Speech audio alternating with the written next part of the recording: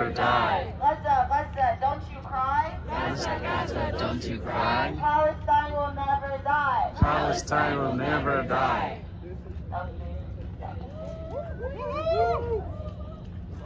Not another nickel, not another dime. Not another nickel, nor another dime. No more money for Israel's crimes. No more money for Israel's crimes. Not another nickel, not another dime. Not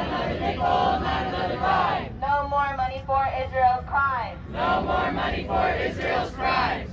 Beautiful.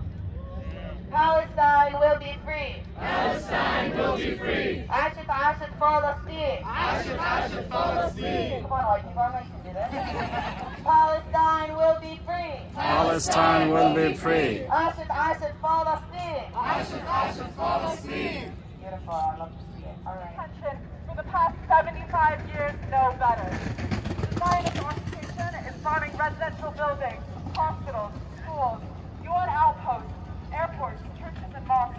They do this under the facade of fighting terrorism, backed by the most violent colonial power in the world, the United States.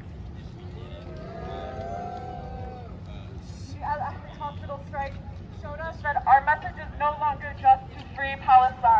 Our message is to save Gaza from being wiped off the map. There must be an immediate end to the bombings, to the missile strikes, and to the massive loss of Palestinian life. The international community must call for an immediate end to this massacre. The siege on Gaza must end, and we must allow humanitarian aid to pass through. We must allow access to food and water and urgently needed medical care.